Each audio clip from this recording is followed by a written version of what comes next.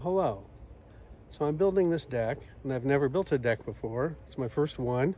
Uh, I've never really taken on a job quite this complex. And like a lot of people do, I watched YouTube videos to learn how to do it. And they were super helpful. Dr. Deck's definitely the best one, my favorite, but there were a lot of others that were super helpful. But one thing I figured out when I got started was they're experts and they kind of assume some things sometimes that some of us that maybe haven't done a job before uh, wouldn't necessarily understand in advance. And with this video, I wanted to show you a few things that I learned along the way. The first thing was tools. It took so many tools to build this deck from everything from shovels to drills to speed squares to impact drills and so on and so on and so on. It's, it's just crazy. In fact, one of them, one of the tools uh, that I didn't have that I ended up borrowing from somebody is an impact drill. And that's this little guy, not a DeWalt ad, just this is what we happen to have. And this is what it does. Saved a lot of time getting these screws in because they just, uh, and they're in, and they're gonna stay in.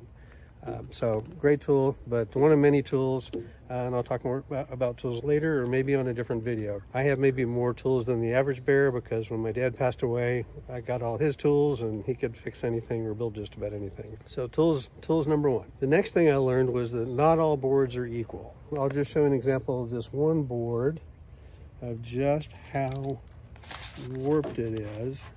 It's just crazy. So that's not even a usable board. But you're gonna get some of those.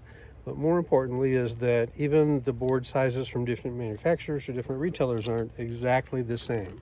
There's a 2x10, which is what I've got here for the floor joists, uh, vary in width. So the, most of the lumber, like from here over, uh, I got from Meeks, been pretty happy with it, fairly consistent, although there's variations within that acceptable range. But I needed a few more boards over a weekend, and I went over to Lowe's and picked these little guys up.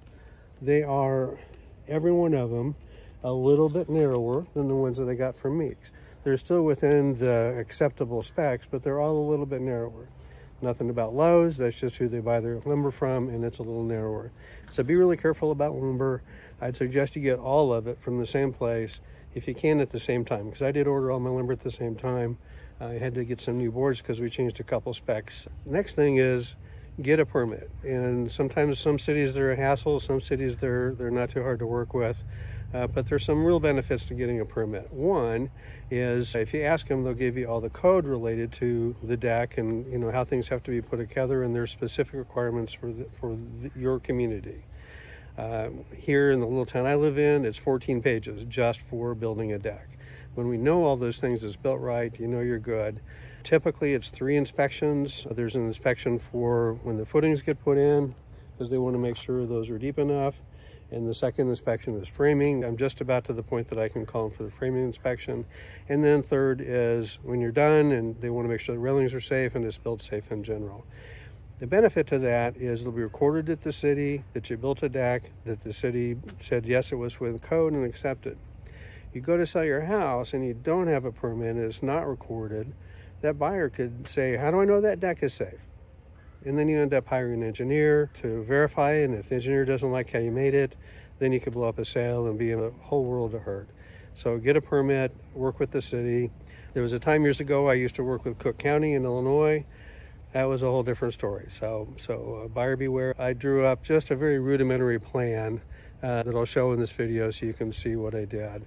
Uh, I was a little surprised they gave me a permit with what little I gave them, but they did. So that was great, but I couldn't really build a deck based on what I had on that, that uh, drawing. So I hired a draftsman to draw up the plan based on what I had, had turned into the city. He, he pulled up the city code for my town and he drew up the plans that will meet those codes. So that included everything like the the size of the boards that had to be here, how the you know the depths of the footings, the the posts, and so on and so forth. Really great great plan. He did a great job, and I'm using that as my guide as as I go through this. He doesn't fill in every single question. That's why you need the the in, the information from the city as well. But I really don't think I could have built this deck without having a plan. So I hired a draftsman. Uh, not an architect or an engineer. Now, I couldn't use an off the shelf plan, and I understand there's some good off the shelf plans, but I couldn't in my build because of some of the unique situations I had. One is I've got a cinder block foundation, which is not generally considered the best thing to, to attach a deck to. So we had to work through that, worked with the city because a lot of houses around here are built that way. Uh, so we have it set up so it's safe and meets code. I'm also building on a hill, which changes some of the specs. It changes the footing requirements and a few other things. And then, of course, the reason we're building it is because of our nice backyard. And then third is some really, really crappy ground. It's mostly just clay and rock. So those nice pretty augers that, that you see advertised really didn't do a very good job here. Oh yeah, one more thing. Uh, I'm tying into an existing deck, existing stairway. So that's uh, a complication as well. But if you're trying to build a deck on nights and weekends and between family and other obligations, it's going to take you a while. So give yourself the time. Don't rush. Um, I wanted to get this thing done a lot faster than it's been done, but I also wanted to be here 20 years from now as well. So I'm taking my time. I think I'll do a separate video on tools because there are so many and some are obvious like a shovel, but there's even different kinds of shovels that will do a better job for you than, than other kinds of shovels. And then I've also got stairs to build. Never built stairs before. I've already figured out I, I probably should have uh, done something a little bit different in the framing to make that easier, but I'm not redoing the framing. We'll work with what we have and uh, end up with some good stairs. So here we are. Good luck on your build.